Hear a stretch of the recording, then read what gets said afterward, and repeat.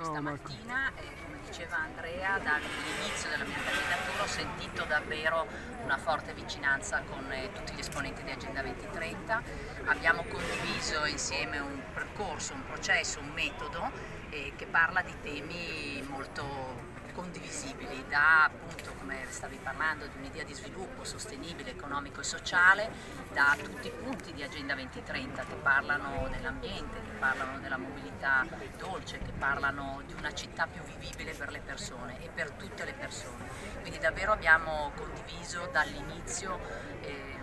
grande anche empatia, viene da dire, un gruppo di lavoro che ha lavorato per questi quattro mesi, perché da subito, come diceva Andrea, siamo partiti insieme e non ci sono mai stati tentennamenti e abbiamo condiviso un metodo, un metodo di ascolto, un metodo di lavoro con i tavoli sui temi e un metodo anche di coalizione, di condivisione di coalizione. Quindi eh, per me è un grande onore essere